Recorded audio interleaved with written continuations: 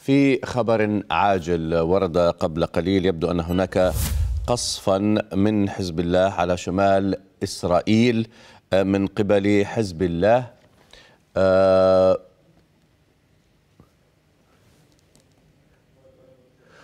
هناك الأخبار تقول بأن هناك أربعين صاروخا أطلقت من جنوب لبنان على شمال إسرائيل. صباح هذا اليوم وفق هذه الأخبار العاجلة.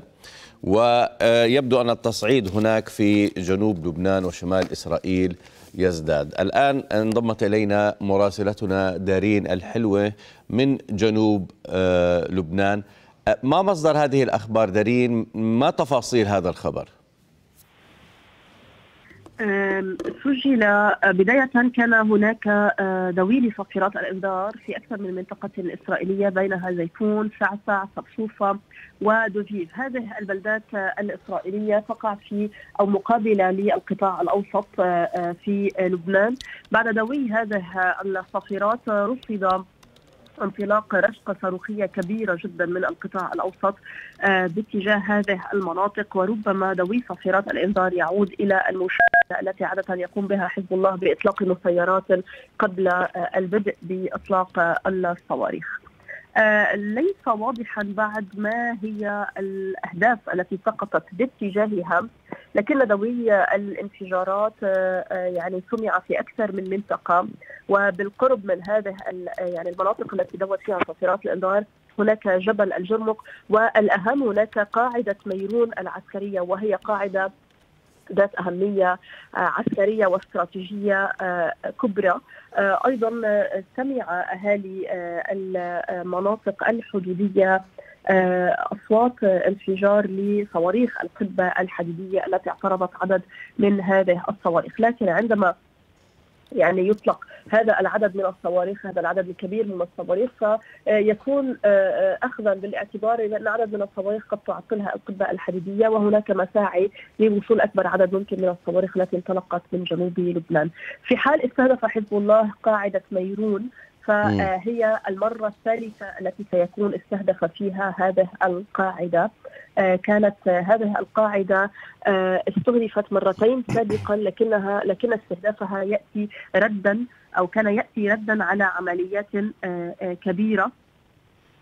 دارين إحنا نتكلم عن يعني على الأغلب ما حدث من تصعيد مهم بالأمس عندما استهدفت إسرائيل يعني بعلبك وسقط ثلاث عناصر من حزب العم... من حزب حزب الله اللبناني وأيضا كان في تصعيد من حزب الله بإسقاط مسيرة وإرسال مسيرة إلى الشمال.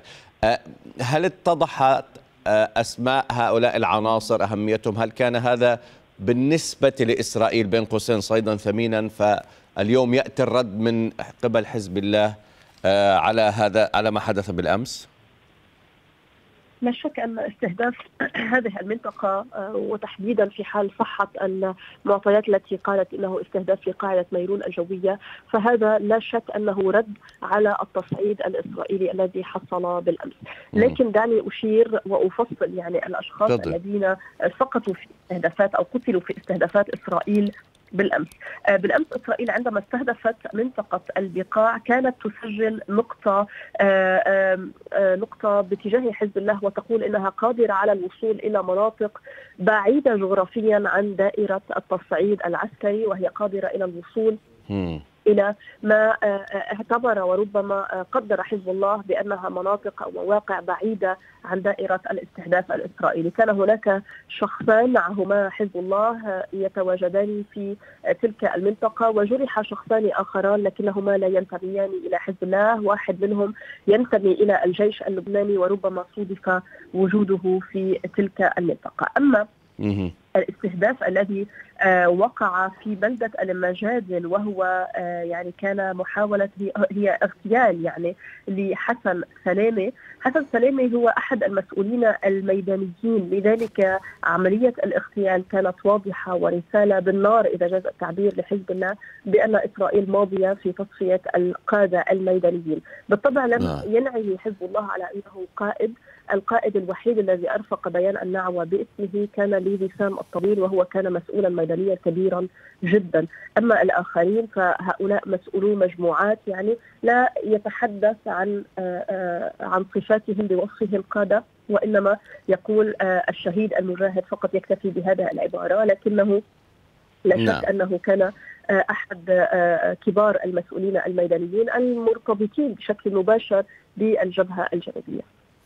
أشكرك شكرا جزيلا مراسلتنا دارين الحلوة حدثتنا عبر الهاتف من جنوب لبنان.